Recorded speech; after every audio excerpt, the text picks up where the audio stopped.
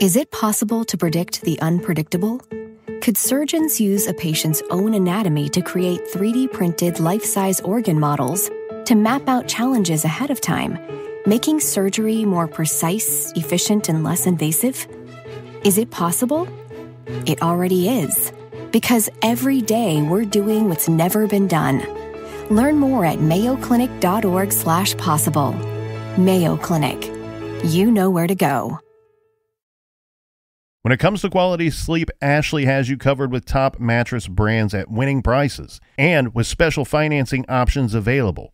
You can snooze now and pay later. Plus, your mattress purchase helps give the gift of better sleep to children in need and U.S. Special Operations Forces. Visit your local Ashley store or shop online today and make every snooze count. Financing is subject to credit approval. See store or ashley.com for details.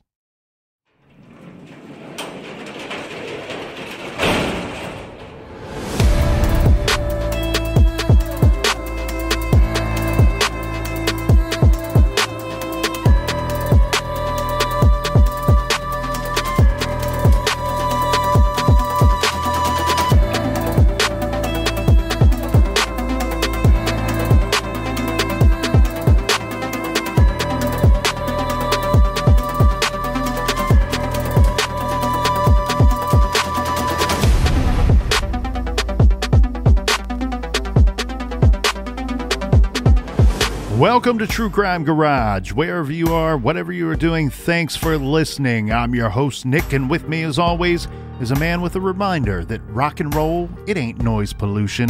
Here is the captain. Yeah, yeah, yeah. It's good to be seen and good to see you. Thanks for listening. Thanks for telling a friend.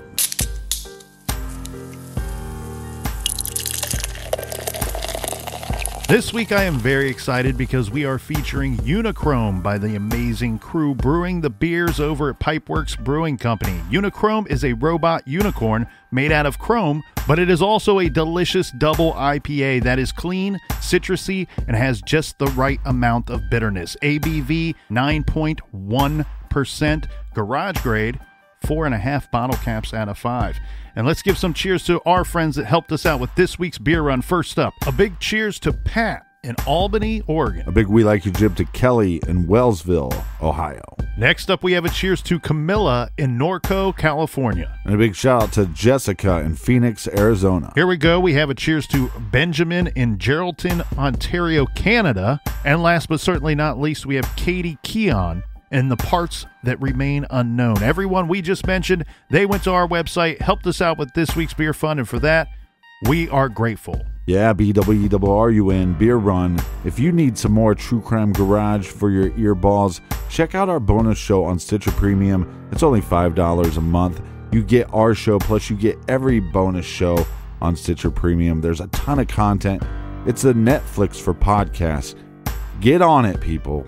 And that is enough of the business. All right, everybody, gather around, grab a chair, grab a beer. Let's talk some true crime.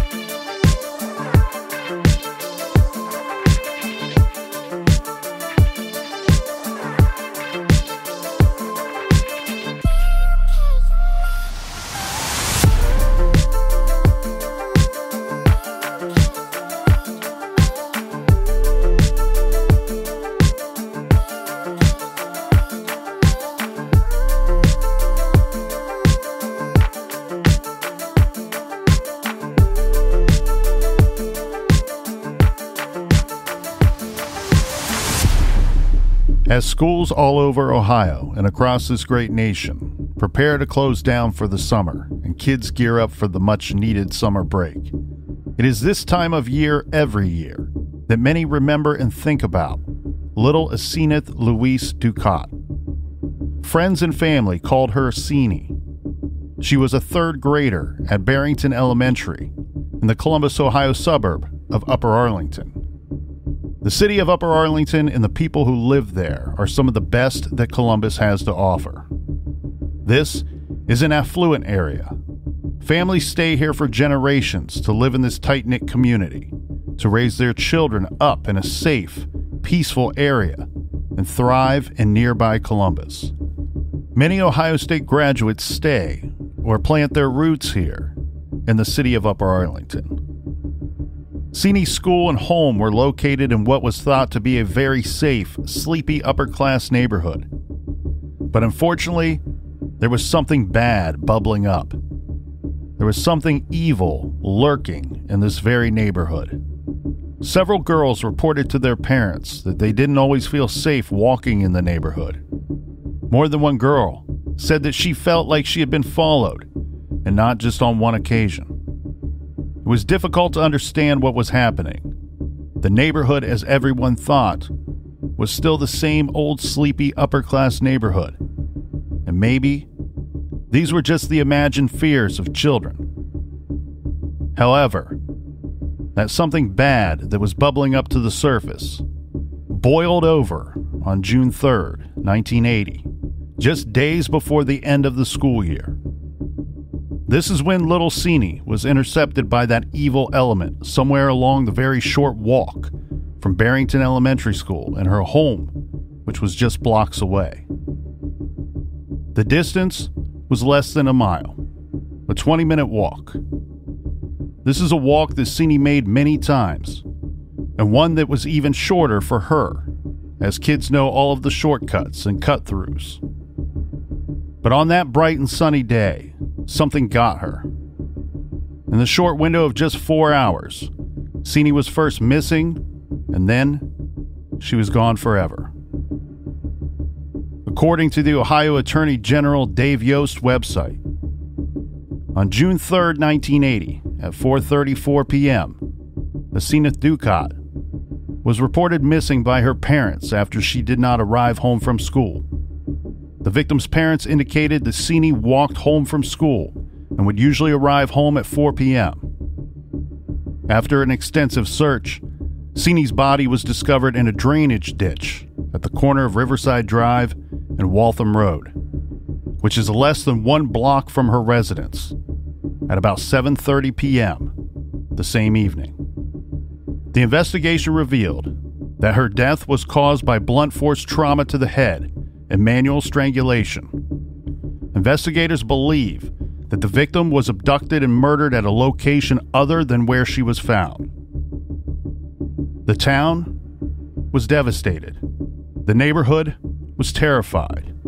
Upper Arlington lost one of their own. A young, outgoing, intelligent little girl was attacked in an area where she likely felt the safest. This was her neighborhood where she lived with her four older siblings and her mom and her dad.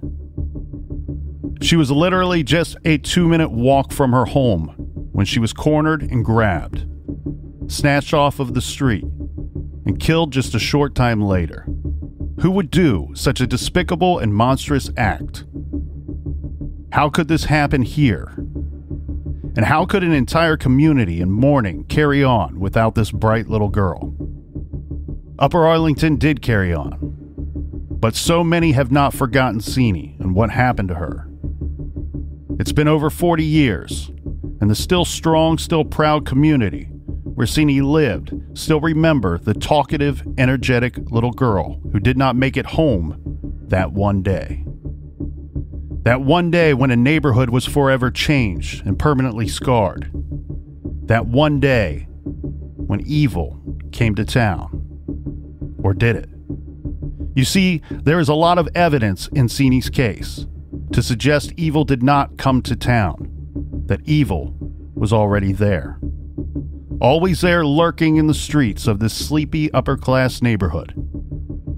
There's good reason to believe that Seney may have even known her killer or one of the persons responsible. The killer or killers may have known that there was only one way to keep this girl quiet after she was taken and assaulted. But the community has refused to keep quiet about what happened, what was taken from them, what was stolen away from the city and the Dukat family. The members of this community are UA, and they are UA strong. As strong as a bear with a heart of gold. The kids in this neighborhood never forgot Sini. Some to this very day wish that they would have been walking with the little girl on June 3rd. And if so, maybe this would not have happened. But unfortunately, from where I stand and the way things look to me, a tragedy like this was simply going to happen. That bad element was on the rise, and that evil was going to bubble up and boil over at some point. And it did that day when Sini was at the corner of Waltham and Malvern. So it's important to remember that Sini, in her final minutes, while she was scared and surrounded, she was actually, in some not so easily explained way, protecting another little girl. Probably even one of her friends, because this evil did not come to town. It was always there, right there in that sleepy upper class neighborhood. Before the end of the school year, Sini's classmates, in memory of, wrote the following acronym for and about Sini, but in her proper name, Asenath. This is from Mrs. Subert's third grade class at Barrington Elementary School. Asenath Dukat, a friendly third grader. She always had a sunny smile. Her eyes glimmered and sparkled like stars. Nice, considerate, honest, polite, and aware of other people's feelings. The class has happy thoughts of her. She will always be remembered. In August of 1980, Asenath's father, Alexander, was interviewed by the UA News. I believe this quote clearly showcases the strength, the resolve, and the compassion of the Dukat family. Quote, We have suffered a great loss, but it's not a reoccurring one. She's gone, but the community may have to go through this again. This case doesn't have to be solved for our benefit. The Lord will deal with this fellow in his own way. We don't wish the killer any vengeance. Sometimes we pray for his soul, that he may be saved, but we are concerned about the safety of others. He may try to wreak this tragedy on someone else. I can't picture a person who is capable of rape and murder living a normal life. I am sure we will hear from him in one way or another. Alexander Dukat, August 6, 1980. The Dukats were and remain UA and UA strong. This is True Crime Garage, and this is the still unsolved murder case of Asenath Sini Dukat.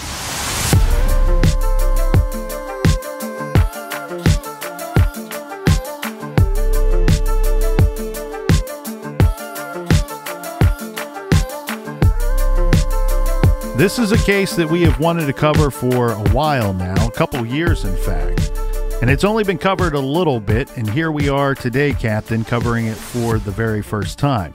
And there have been some speed bumps along the way that got in the way of us covering this at an earlier date, and we will discuss those at a later time in these episodes. But we are here today to talk about the unsolved murder of Asenath Dukat. Asenath Dukat was born July 24th, 1971. And on our day in question, she was eight years old. She went by the nickname Sini, and later that day, when her parents would report her missing, she was listed as four foot five and a half inches tall, weighing about 68 pounds. She had brown hair and brown eyes, and she was in the third grade at Barrington Elementary School, which was located on Barrington Road in Upper Arlington, which is a suburb of Columbus, Ohio. Our day in question is June 3rd, 1980. This is a Tuesday, and this would be a bright and sunny Tuesday.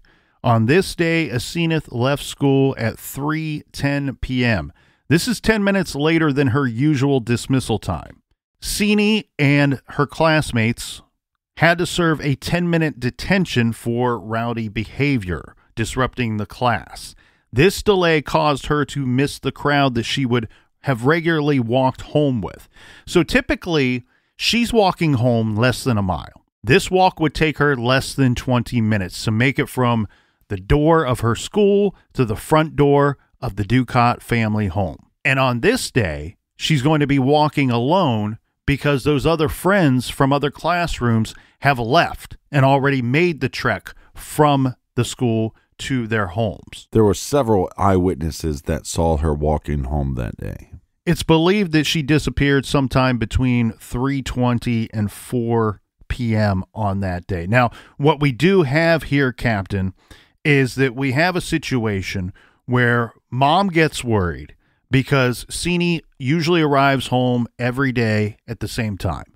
And when her daughter, her youngest child, is not there, Sini, she starts to get a little nervous. And this is going to be followed by sending out the other kids of the Dukat family to go out on their bicycles and walk the streets and ride their bikes to look for their little sister. It's also going to be followed with Mrs. Dukat calling the school to ask where her daughter was and calling a couple of her friends' parents. I imagine this would be friends that she would typically walk home with. And she's going to find out about this 10 minute detention and realize very quickly that Sini was probably traveling by herself, walking home alone that day from school. Again, this 10 minute detention didn't come about until the day of, on June 3rd, 1980. She's also going to call her husband, Alex or Alexander, and let him know that their daughter did not come home from school yet. Alex works within walking distance of the family's home. He will actually end up leaving work a few minutes early on this day to help go look for little Sini. So I'm not that clear on the details, but it was either the whole class that got a detention or a group of kids because they were talking too much in class. But kind of odd that they would be handed out a 10 minute detention for that day. Normally, you'd have to serve your detention on another day. Yeah, I'm guessing a couple things here, Captain. One, it makes sense to me. It's the end of the school year. Kids get a little rowdy. They probably weren't listening to the teacher. Teacher gets upset and has to continually warn the kids and then decides, you know what, I've got to make a example here and let them know that they can't just do whatever they want. So here's a 10 minute detention, probably served by the whole class. We got to keep it short, though, I'm guessing, because some of those kids are going to be riding buses home. Some of these kids, as we said, like Sini, will be walking home. Now, I've heard it reported that like 1980 was something different than the setup that we have today, that many more kids walked home back then. If you looked up where the Dukats lived and this Barrington Elementary School, it's less than a point ninth of a mile. I believe it's typical for kids that live in the same neighborhood as the school to commonly walk to school. So I don't believe that it's any different 1980 than it would be today of the amount of kids that were walking to and from school. When I was growing up, Captain, when you were growing up, if our school was in the same neighborhood, you just walked because the buses didn't travel that short distance, or mom and dad would drop you off at the school. Well, Colonel, can you give us a general overview of this case and then we can come back through and do a very detailed account of the events? Yes. So, as we said, Sini was walking home from school. It's believed that she was last seen within just blocks of her home that day. Her body was eventually found at approximately 7:30 p.m. So let's note those times here before we get to that very detailed timeline of June 3rd. We have people that say that they have seen Sini around 3:20 p.m., maybe even a few minutes after that. So we believe that she obviously went missing during some point after that 320 325 marker on that day. Her body is found at approximately 7:30 p.m. that day. So what we're really working with here roughly is a window of about 4 hours where we have a lot of question marks and a lot of blanks to fill in. And I think we will be able to do that with some of this timeline that we will later present. But her body was found. This is after an extensive search. Remember, we've already said brothers and sisters are out looking for Sini. We have neighborhood kids looking for her. Mom and dad are out looking for her. Mom's driving around the neighborhood looking for her.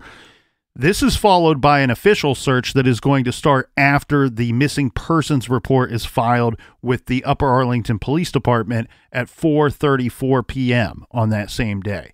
So we got a lot of people in a small area looking for this little girl and yet we have 4 hours where we have to fill in and figure out what was going on during that time frame. Her body was found at the mouth of a culvert located at the corner of Riverside Drive and Waltham Road. So, to give a very basic description of this area, what we have here, Captain, is Riverside Drive is a very busy road. It was back in 1980, it still is to this day. In fact, if you look up the population for Upper Arlington, the population is roughly the same today as what it was back in 1980. It's only about 1,500 people more. So traffic and things like that are not significantly different. However, the lay of the land is significantly different, especially right here on this corner. This area has been landscaped and renovated several times since 1980. Now, think of your neighborhood growing up, everybody out there in listener land.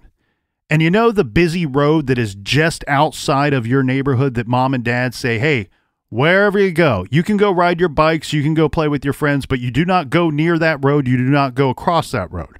Well, this would be that road. Riverside Drive, very busy road. Waltham Road is right off of Riverside, and it's one of the main vessels through this neighborhood, through Seeney's neighborhood. Her body is eventually found near this intersection of Waltham and Riverside Drive. The interesting thing about that to me, Captain, is this is very close to her home. It's less than two minute walk from her front door to where her body was ultimately found. Yeah, my parents would always say, don't play by that busy intersection, but stop hanging out with that kid that thinks he's a colonel. Too young to be a colonel. So, unfortunately, her body is found four hours later, and this is about a block from her home. And I encourage everyone to look this up on a map because it will shock you how close she was found to her home. And it was determined that she was sexually assaulted, and her death was caused by blunt force trauma to the head and manual strangulation. The murder weapon, I've actually seen several different weights for this murder weapon over the years. I've seen she was killed with a rock someone took a rock and hit her in the head with it. And I've seen this rock to have weighed as little as 12 pounds or as many as 25 pounds. Most of the information that I've reviewed over the years suggests that this is a 20 to 25 pound rock. So this is a pretty big rock. Now, the area that she's found, there's a lot of rocks there, and this rock was recovered. It was still at the murder scene. And that's something that's key to remember here, too. Murder scene. She was killed where she was found. So, what you're saying is law enforcement believes a perpetrator or multiple perpetrators took her, assaulted her somewhere, transport her alive to this location, and then the murder took place at that location where she was found. Yes, that is correct. And here's the thing, though I think that we're going to be able to lay this out in a very easy to understand way, easy to grasp everything that we have seen over the years in her case. I don't think that things were so clear for law enforcement at the time when they were investigating this case. We have the benefit of 42 years of looking at this case and looking at the different information that have come up in 42 years. They did not. One thing that police revealed was that there had been a previous and a very similar attack in that similar area on May 7th. So, less than a month earlier, a similar type of victim and a very similar type abduction took place in that same neighborhood. Now, this would be news to some of the people in the neighborhood, but not to everyone in that neighborhood. Were there any eyewitnesses to this previous situation before the murder? Yes, there were. So we have the survivor of the attack, and then we also have a potential eyewitness in that situation. The thing here, Captain, is eyewitnesses are key in this case. Eyewitnesses for the day that Sini was killed, and eyewitnesses on this other attack that may or may not be related. However, what we do know is at the time of Sini's murder, that police absolutely did think that it was highly likely that the two were in fact connected, so much so that they are releasing a sketch, a composite sketch to the public of the individual that they believe may have been spotted in Seeney's attack, or at least in the area of where Seeney was last seen. And this is believed to be a similar sketch, a similar composite sketch to the earlier attack that took place in May. Again, just less than one month earlier.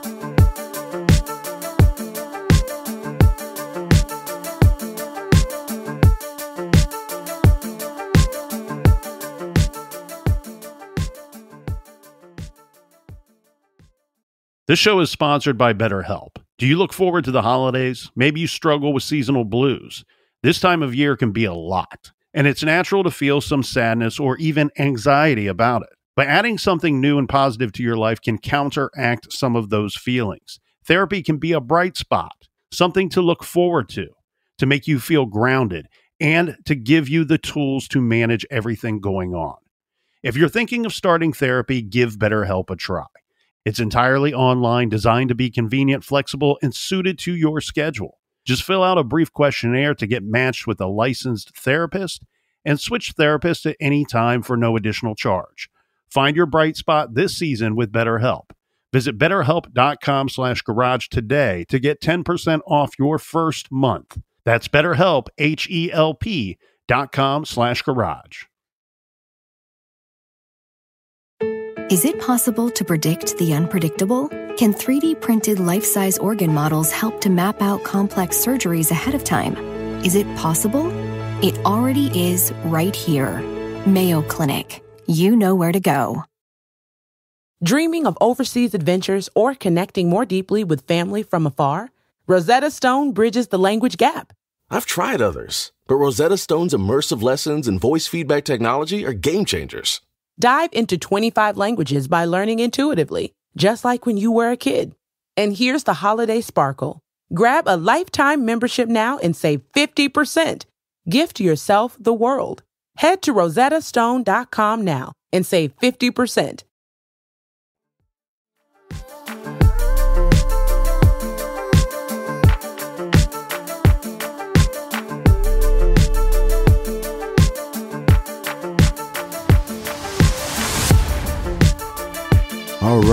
Cheers, mates.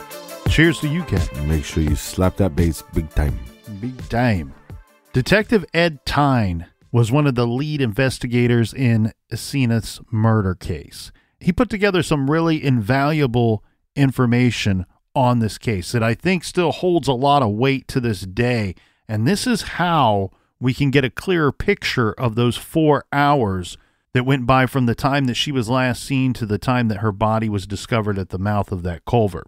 This is a timeline put together by Detective Ed Tyne. And it starts roughly at 3 p.m. and it's going to take us all the way up until about 7:30 p.m. that night. Now, a lot of these names have been redacted, and then on top of that, these times are not exact. Most of them are going to be approximate.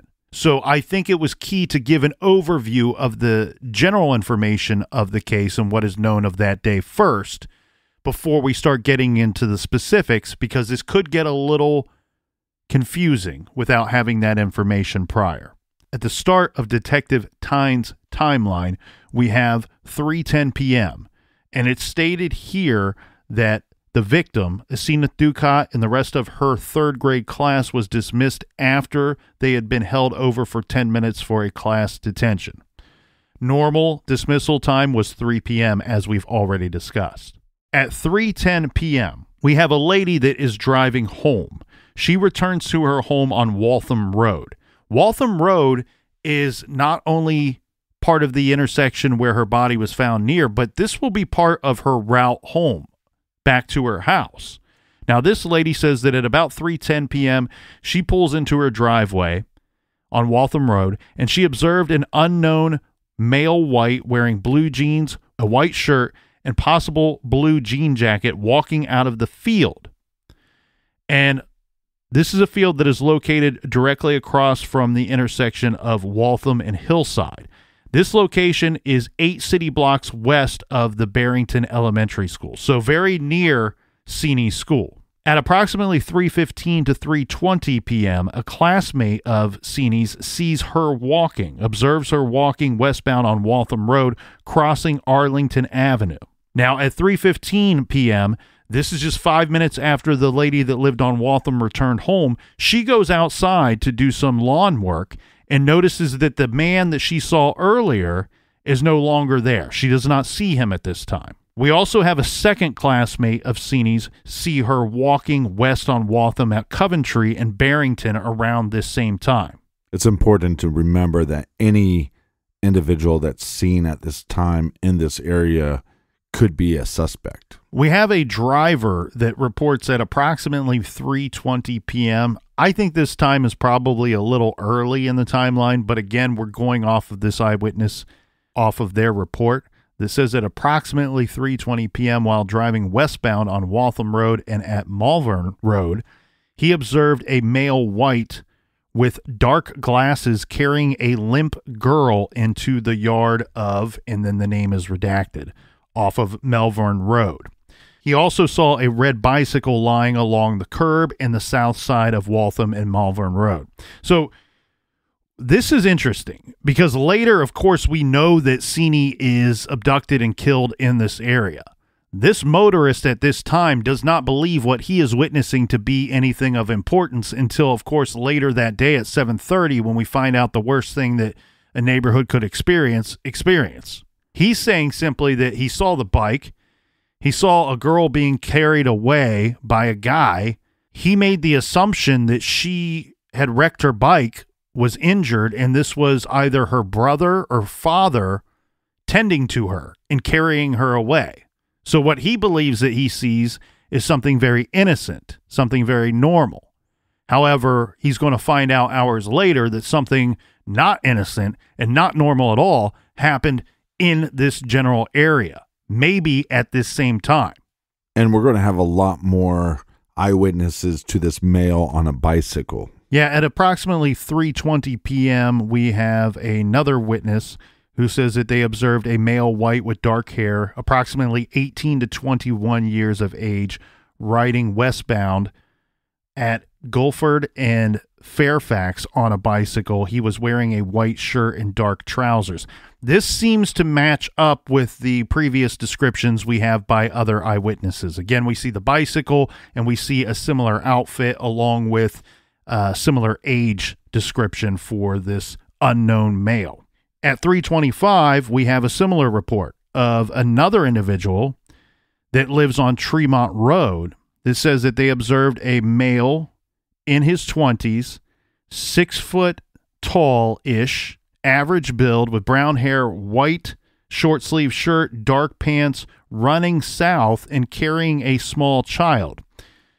The witness goes on to say that she also saw a red bicycle on the south side of Waltham in the bushes by the pine trees. Now, can you imagine if you saw a teenager or somebody in their early 20s carrying a child? This is not going to look natural. This is not going to look like they're playing around. At the same time, though, you got to keep in mind around this three o'clock hour, we have two schools in this neighborhood. So you're going to see a lot of kids kind of out walking around or on bikes at this time. Right. The other thing, too, that we need to point out, because that description that I gave is just a little tricky there, the witness lives on Tremont. She's not saying that she saw or witnessed this on Tremont Road. She's saying that she witnessed this near Waltham Road on the and the bicycle was on the south side of Waltham Road. So this individual lives nearby but was driving in this general area where they witnessed this man or young man carrying a small child. We also need to point out that this Tuesday in 1980 was a primary election day. And we have two locations in this neighborhood that are voting locations. So we have additional people that are out and about on this day for the purpose of voting. And we get our first witness, eyewitness, who says that on their way to voting, saw something that might be of interest to our case. So this is a woman who lives on Riverside Drive. Says that she walked to vote at First Community Village. First Community Village is very near where Sini Dukat's body was later found. She says that she crossed the culvert on her way and observed a male white standing on the south side of the creek at approximately 100 yards east of her. She said that there was something red and blue, cloth like, on the ground in front of him. This occurred between 3:25 p.m. and 4:20 p.m. Now, another thing to note there as well. I know that she's giving us a window of time that is approximately an hour. But this individual is crossing the same culvert where Sini Dukat's body will later be found. I've walked and crossed this culvert several times. I would find it incredibly difficult to believe that anybody, whether they were looking around or not, would not have seen her lying there on that day at that time. So, what this tells me is even though we don't know exactly what time this woman is walking and crossing the culvert, she says between 3:25 p.m. and 4:20 p.m. Whatever time she crossed that culvert, Sini is not there. She's not there at this time. And that's going to be key to our case. Now, at approximately 3:40 to 3:50 p.m., we have another woman who returns to the culvert after voting and decides to pick up a rock from the creek that she's going to take home and use as a paperweight. The rock came from the location where the body is later discovered. Again, this person gives us a different window, 3:40 to 3:50 p.m.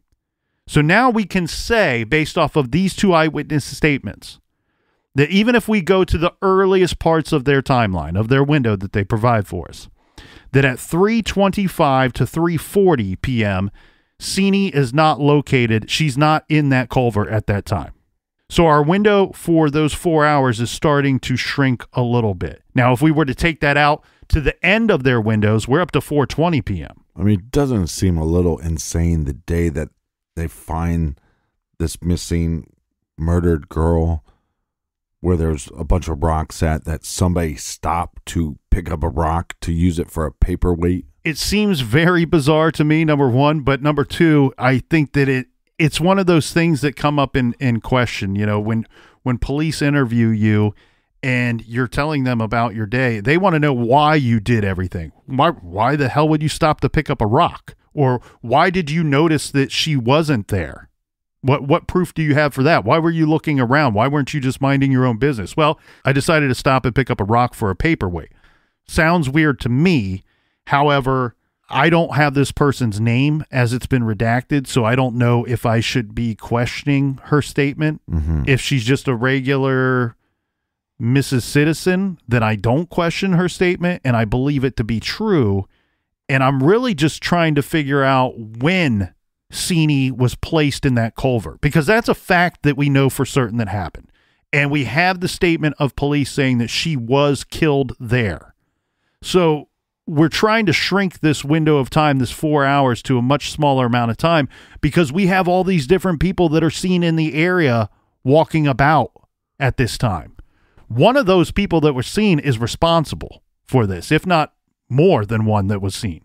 And so we want to really narrow down who it could be that placed Sini in that culvert that day.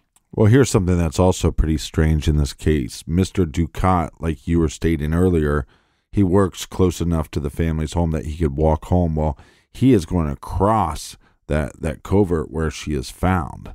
So if she was there at the time, it's most likely that Mr. Dukat would have seen his daughter. Yeah, and we're going to be able to put a lot of people in this area where her body would eventually be found that do not see her there. They do not see her body lying in that culvert. And that really shrinks the window here. So, again, he would have had to walk across this little bridge to get over this culvert. And I'm telling you, there's no way, unless you got blinders on, man, on both sides of your head, there's no way that you're not seeing her lying there on the rocks. At 4:40 p.m. is when Mr. Dukat left work. And he walked home. His normal route would make him cross that culvert. Right. I don't have an exact time for when he was crossing that bridge that day, but we know it was after 4:40 p.m. So our window is getting even smaller. This is going to take us all the way up to 5:55 to approximately 6 o'clock p.m. When we have a woman who lives on Waltham Road, she walked across the culvert on her way to vote. Again, does not see Sini in the culvert. We're now up to six o'clock. Her body's going to be found before 7:30 p.m. I think one of the things that makes cases more difficult, like in the 80s, is that not everybody has a clock on them. Where now almost everybody carries a cell phone. Your cell phone has some some kind of clock on it. And also you have then time frames of, well, I saw this happen and then this person texted me, so I know it was before that time.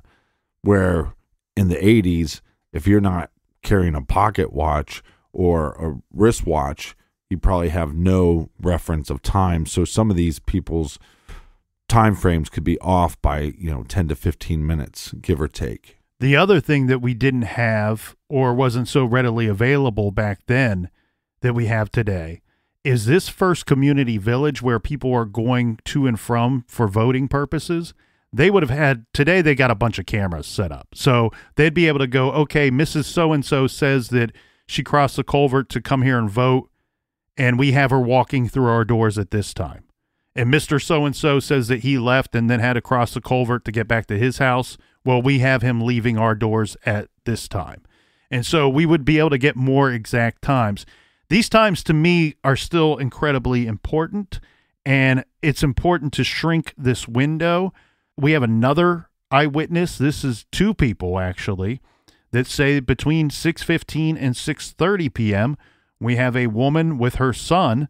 Her son is young. We know this because he's on a tricycle. If he's if he's not young, that would be weird. Hey, sounds awesome sauce to me. But the two of them cross the culvert between 6:15 and 6:30 p.m.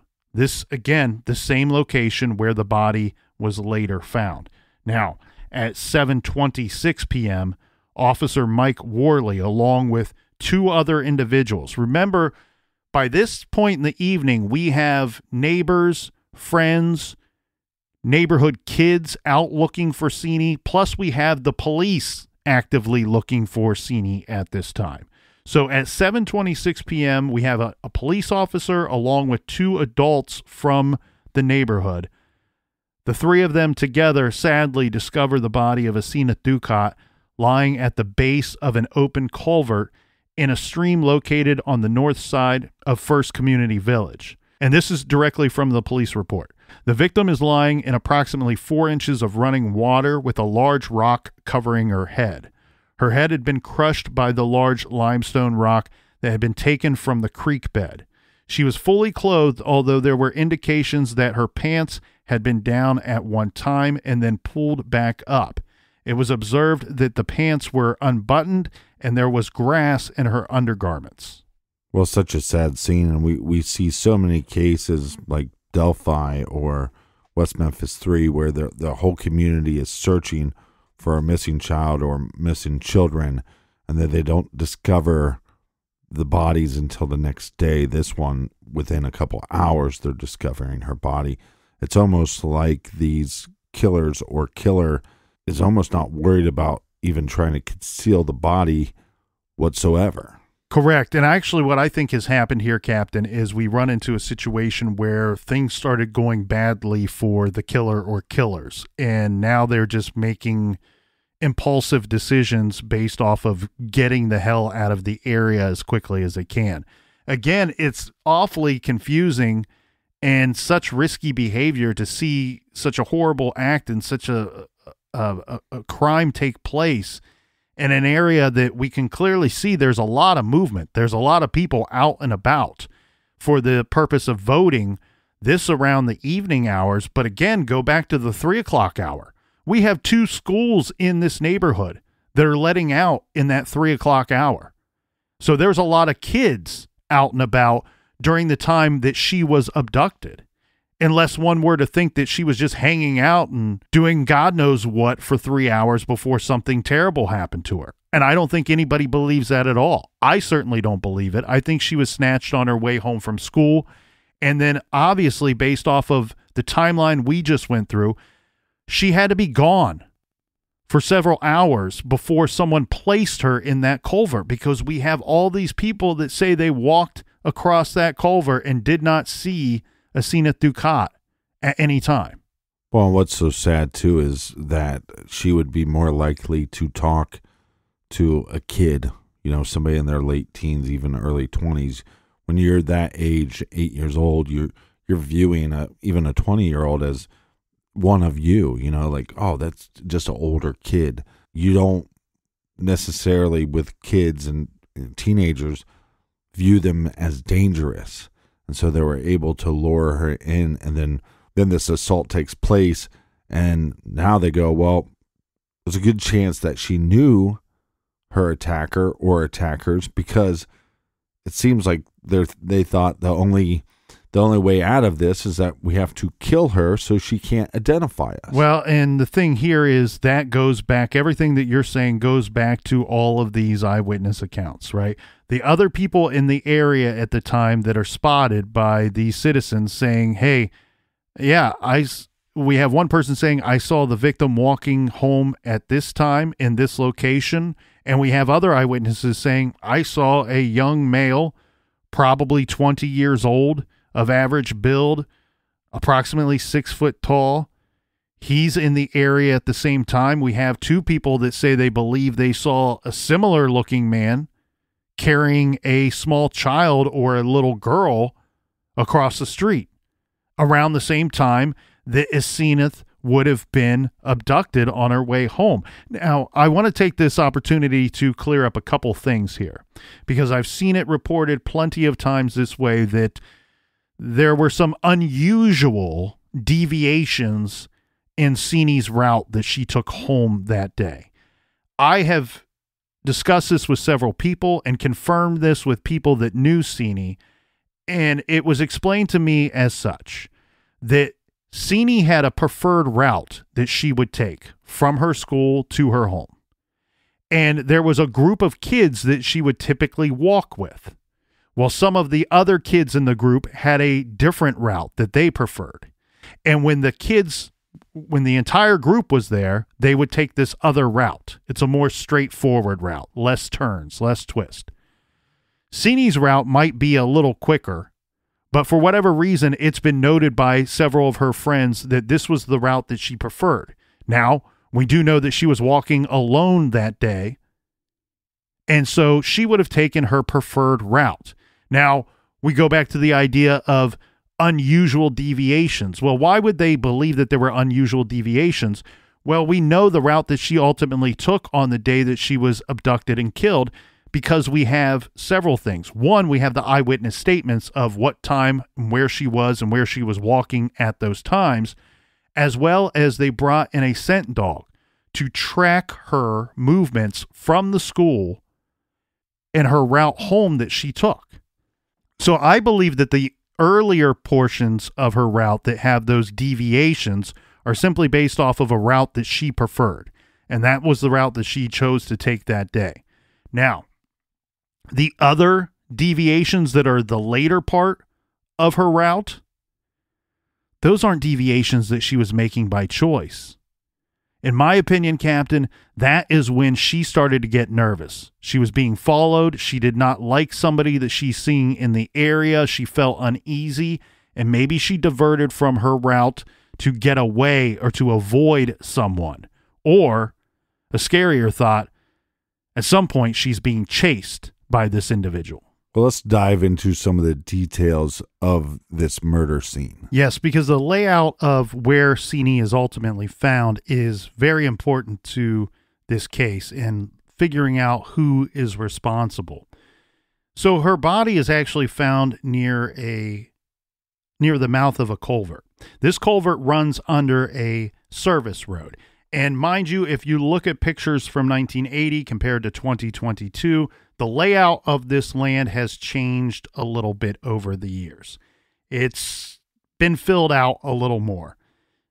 But the other place that is curious that is nearby this culvert where her body is found is a tunnel which the locals, or at least the children of the neighborhood, called Frankenstein's Cave. Now, we mentioned earlier that your parents, if you lived in this neighborhood, would tell you do not go to Riverside Drive. You do not cross Riverside Drive walking or on your bike the road is just far too busy. It's too dangerous for people crossing on foot or on a bike. But this Frankenstein's Cave is a larger tunnel that runs underneath that Riverside Drive. Now, this would be another location that your parents would likely tell you that you are not allowed to go to. The other thing, too, as a child, you may not want to go there anyway because it's called Frankenstein's Cave if there were anybody to be hanging out there, this would be the older kids, the teenagers, the uh, maybe people were down there drinking beer, smoking a joint, and somebody had spray painted Frankenstein's cave inside the tunnel on one of the walls, the tunnel wall. So this is how it kind of got its name. Other than that, it's a little tricky to figure out where the name came from. But ultimately, Sini's body is recovered at the mouth of this culvert which is underneath the service road, runs underneath the service road that is near Frankenstein's cave that runs underneath Riverside Drive. Again, we had multiple witnesses that are traveling, that are traversing this area, this exact area for that four hour time period of when she was gone. So you have to believe, based off of those witnesses not seeing her there where she's later found, that she wasn't there until much later in the evening, closer to the time that she was discovered. Again, the time that we have on record for the police is 7:26 p.m. There was also a brief description in the Columbus Dispatch about her autopsy. Yes, according to the June 10th, 1980 Columbus Dispatch, Skull brain injury killed Dukat girl autopsy shows is the headline. A brief description of that article is as follows in a Columbus Dispatch newspaper article published on the 10th. A preliminary autopsy reported that eight year old Asenath Dukat died of skull fractures and brain contusions inflicted when she was struck on the head with a 20 pound shale type rock. The autopsy also showed that the third grader had been raped. Handprints were left on both sides of her throat as her attacker choked her. Bruises were found beneath both eyes and on the left side of the nose. Upper Arlington police were to distribute pamphlets describing the murder suspect to motorists on Waltham Road near where the body was found.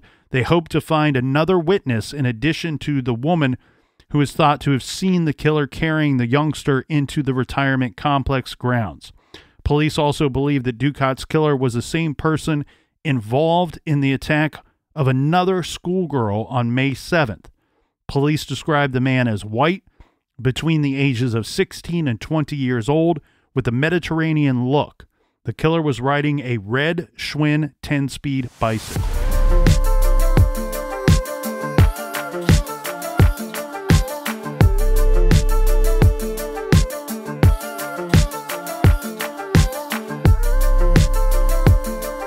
Thank you for joining us here in the garage. We would be nothing without you. We love you and thank you so much for the support and telling your friends and family about us. That's how we continue to grow and we appreciate you more than we can even begin to put into words. Join us back here in the garage tomorrow. And until then, be good, be kind, and don't live.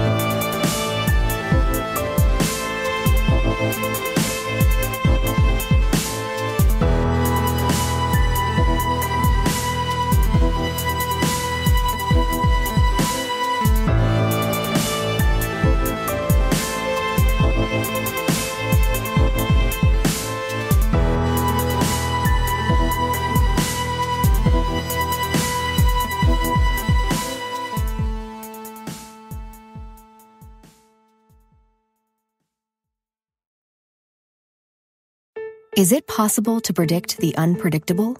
Could surgeons use a patient's own anatomy to create 3D printed life size organ models to map out challenges ahead of time, making surgery more precise, efficient, and less invasive? Is it possible? It already is. Because every day we're doing what's never been done. Learn more at mayoclinic.org slash possible. Mayo Clinic. You know where to go.